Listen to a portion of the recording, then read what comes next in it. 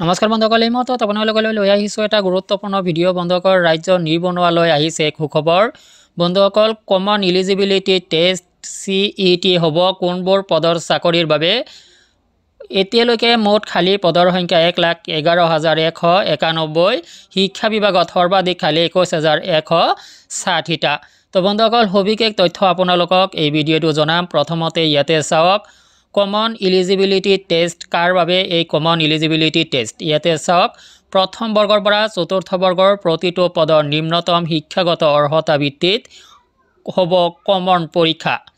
নিৰ্বাচনী প্ৰতিশ্ৰুতি আখৰে আখৰে পালন কৰি মুখ্যমন্ত্ৰী ডক্টৰ হিমন্ত বিশ্ব শৰ্মাৰ নেতৃত্বাধীন বৰ্তমানৰ ৰাজ্য চৰকাৰখনে প্ৰথম বছৰটোৰ ভিতৰতে এক লাখ নিবনুৱাক চাকৰি চৰকাৰী চাকৰিত নিযুক্তি দিয়াৰ পূৰ্ণ তৎপৰতা অব্যাহত ৰাখিছে।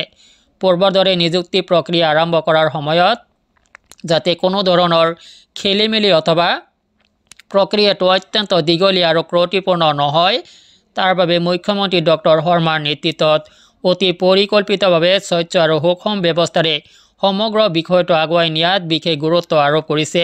এই সম্পৰ্কত মুখ্যমন্ত্ৰী ডক্টৰ শৰ্মা ইতিমধ্যে ৰাজ্যৰ মুখ্য সচিব আৰু বিভিন্ন বিভাগৰ দায়িত্ব থকা অতিৰিক্ত মুখ্য সচিব প্ৰধান সচিবসকলৰ সৈতে যোৱা মাহত এখন গুৰুত্বপূৰ্ণ বৈঠকত মিলিত হোৱাৰ লগতে সমগ্ৰ নিযুক্তি প্ৰক্ৰিয়াটো আগুৱাই নিয়াৰ ক্ষেত্ৰত এক ৰূপৰেখাও যুগুতায় ৰাজ্য চৰকাৰৰ এক সূত্ৰই জানিবলৈ দিয়া মতে ৰাজ্য চৰকাৰে ইতিমধ্যে এক লাখ এঘাৰ হাজাৰ এশ একানব্বৈটা খালী পদ বিচাৰি পাইছে। ইয়াৰ একৈছ হাজাৰ এশ ষাঠিটা শিক্ষা বিভাগৰ ষোল্ল হাজাৰ নশ ছয়ষষ্ঠিটা গৃহ বিভাগৰ পাঁচ হাজাৰ সাতশ সাতটা স্বাস্থ্য আৰু পৰিয়াল কল্যাণ বিভাগৰ আৰু বিভিন্ন বিভাগৰ অধীনত ঊনচল্লিছ হাজাৰ সাতশ বিৰাশীটা পদ খালী আছে। গ্ৰেড অনুসৰি খালী পদৰ সংখ্যা এনেধৰণৰ তিনি হাজাৰ পাঁচশ সপ্তাশীটা গ্ৰেড এৰ এক লাখ চৰি এক হাজাৰ ছিয়ানব্বৈটা গ্ৰেড বিৰ ছাপন্ন হাজাৰ আঠশ বিৰাশীটা গ্ৰেড তিনিৰ ঊনৈছ হাজাৰ ঊনৈছটা গ্ৰেড চাৰিৰ গ্ৰেড তিনিৰ পাঁচ হাজাৰ এশ চৰি পাঁচ হাজাৰ সাতশ বাৰটা স্নাতক পৰ্যায়ৰ পদ আৰু গ্ৰেড ফ'ৰৰ ন হাজাৰ পাঁচশ একাশীটা অষ্টম শ্ৰেণীলৈকে উন্নীত পৰ্যায়ৰ পদ। গ্ৰেড একৰ এক আৰু গ্ৰেড দুইৰ পদসমূহ অসম লোকসেৱা আয়োগৰ জৰিয়তে পূৰণৰ ব্যৱস্থা কৰা হয় কিন্তু লোকসেৱা আয়োগে সেই পদসমূহ পূৰণৰ ক্ষেত্ৰত প্ৰাৰ্থী বাছনিৰ বেলিকা বিভাগে বিভাগে থকা সুকীয়া বিধিকে ধৰি কেতবোৰ আভ্যন্তৰীণ ব্যৱস্থাৰ বাবে বাছনি পৰী প্ৰক্ৰিয়া দীঘলীয়া হৈ পৰে বুলি স্বয়ং লোকসেৱা আয়োগৰ অধ্যক্ষই অৱগত কৰি চাকৰি সেৱাবিধিৰ কিছু সংশোধনীৰ প্ৰয়োজনীয়তাৰ বিষয়ে দোহাৰিছে বুলি সূত্ৰটোৱে অৱগত কৰে। ইপিনে সূত্ৰটোৱে জানিবলৈ দিয়া মতে এক লাখ নিযুক্তিৰ বেলিকা এইবাৰ চৰকাৰে গ্ৰেড একৰ পৰা গ্ৰেড চাৰিলৈকে সকলো পদৰ ক্ষেত্ৰত নিম্নতম শিক্ষাগত অৰ্হতা অনুসৰি এটা কমন পৰীক্ষা অনুষ্ঠিত কৰাৰ পোষকতা কৰিছে। তদুপৰি শিক্ষা বিভাগ, গৃহ বিভাগ, স্বাস্থ্য বিভাগৰ পদসমূহ ইতিমধ্যে গঠিত বোৰ্ড কমিটিৰ জৰিয়তে বাছনি প্ৰক্ৰিয়া অনুষ্ঠিত কৰাৰ চিন্তা চৰ্চা কৰিছে। সেইদৰে গৃহ বিভাগৰ আৰ্হিত বন বিভাগৰ বেটেলিয়নৰ পদসমূহ পূৰণ কৰাৰ উপকতা কৰিছে।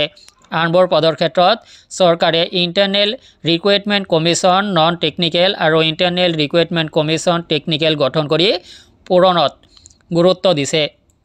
সূত্ৰটোৱে জানিবলৈ দিয়া মতে বিভিন্ন বিভাগৰ চাকৰি সেৱাবিধিৰ সংশোধনী ঘটাই আসন্ন বিধানসভাৰ শীতকালীন অধিৱেশনত এখন আইন প্ৰণয়ন কৰিব। এই ক্ষেত্ৰত যাতে চৰকাৰ খৰতকীয়া গতিৰে আগবাঢ়িব পাৰে তাৰ বাবে প্ৰতিটো বিভাগকে প্ৰয়োজনীয় পদক্ষেপ গ্ৰহণ কৰিবলৈ চৰকাৰৰ তৰফৰ পৰা নিৰ্দেশ দিয়া হৈছে। এই পদক্ষেপ গ্ৰহণৰ পূৰ্বে চৰকাৰে পোনপটীয়া নিযুক্তিৰ বাবে ঐন বিভাগৰ পৰা প্ৰয়োজনীয় পৰামৰ্শ গ্ৰহণ কৰিব।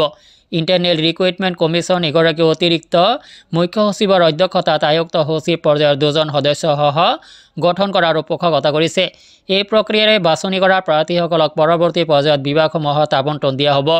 মূলতঃ নিযুক্তি প্ৰক্ৰিয়া স্বচ্ছ নিকা কৰাৰ লগতে বিভিন্ন মেৰ পেচত পৰি সমগ্ৰ অভিযানটোত যাতে কোনো খেলি মেলি অনিয়ম সৃষ্টি নহয় তাৰ বাবে চৰকাৰে এনেধৰণৰ পদক্ষেপ গ্ৰহণ কৰিব বিচাৰিছে।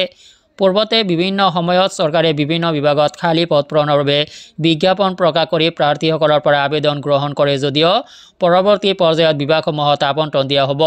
মূলতঃ নিযুক্তি প্ৰক্ৰিয়াত স্বচ্ছ নিকা কৰাৰ লগতে বিভিন্ন মেৰ পাছত পৰি সমগ্ৰ অভিযানটোত যাতে কোনো খেলি মেলি অনিয়ম সৃষ্টি নহয় তাৰ বাবে চৰকাৰে এনেধৰণৰ পদক্ষেপ গ্ৰহণ কৰিছে।